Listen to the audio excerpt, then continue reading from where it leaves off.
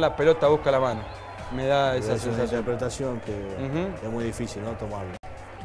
Ahí parecía que se lesionaba Juan Perillo. El equipo tucumano, el equipo conducido por décima, tenía con Carrizo esta oportunidad de media distancia, esta de central, otro cabezazo, controla sin inconvenientes. El chato arquero que tiene el equipo Sí. tucumano, ¿no? Sorprendió. Sí, los Me dos. hizo acordar a Omar Américo Vargas. Es verdad. Bueno, ahí está. Con recordemos que Central tenía, venía hasta este partido en la tercera colocación junto con Mitre, que ayer perdió en Tucumán, con Brown de Lules con el puntero. Y ahora sí nos vamos a meter en lo que ganaba Mitre 1 a 0, después perdió 3 a 1. Marcos Molina, el arquero de- del equipo tucumano. Federico Chávez habilitando a Torres, la para y Molina se luce, después hay un rebote. Y le queda atrás. Sí. El control y le queda atrás. A diferencia de lo que pasó con Funes Mori, ¿no? Eh, que hoy marca el gol en contra Sí. para lo que fue el parejo, 1 a 0 ¿no? frente a Racing. Viene parejo. ¿no? Parejito. Entre tiempo de partido, Esa era una de las cabeceras, es la otra. hubo Con algunas peleas, ¿no? Sí. Para variar otra vez. La boludez de siempre. Segundo tiempo en marcha. Ahí está. Ahí está. Se desafiaron, se trompearon. sí. ¿eh? A la vista de todos. ¿Cuál será el motivo? Seguramente de boliche, de barrio, de, de alguna mujer, de algo. Mendoza, para no seguir hablando de eso que ya nos tiene Sí. cansados. Me gustó cuando ingresó Acosta y Villar Sí. el volumen de juego que le dieron. ¿no? Tal cual. Con los dos jugadores más criteriosos que tiene Central, empezó a manejar la pelota. Este es Perillo, Gambetta, intenta asistir a Acosta, llega Buruchaga, remate que se va desviado.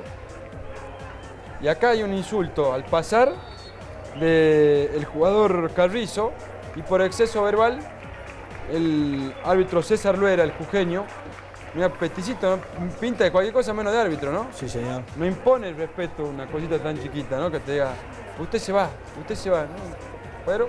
Zurita. lo- Sí. Para Costa. eh, o intentando buscar a Costa. Y va a aparecer Perillo.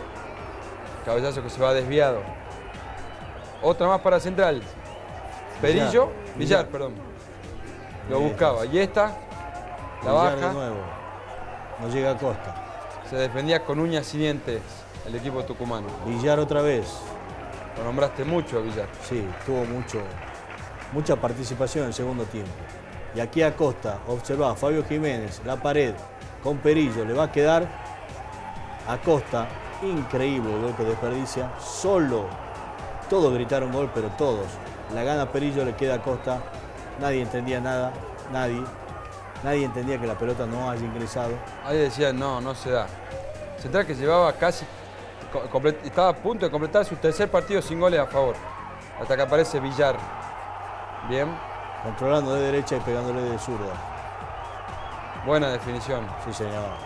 Al palo más lejano. Y de esa manera Central, que no hacía un gol desde aquel partido frente a Progreso de Rosario de la Frontera. Sí. Ahí la saluda la madre. Qué amoroso. Sí.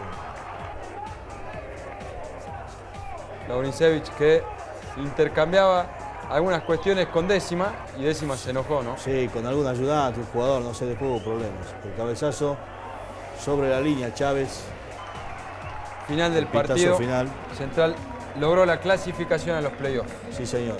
Lo lograba con un punto. Y después, con esta Décima victoria invita está a pelear a alguien. ¿Qué le- uh, se transformó décima, lo agarró el arquero suplente. Estaba Es enojado una décima. ¿eh? Es el entrenador, es el, Alguien dijo algo, del grupo, tiran agua. En el medio queda uno de los jugadores. el jugador. ¿Quién es? No sé quién es. El que sí ent- entra a separar el látigo de Rodríguez ahí. En el Sí. medio del tumulto, el que puso la- las, las cosas en paz. Ahí está el látigo, ¿eh? Entra el látigo tranquilos.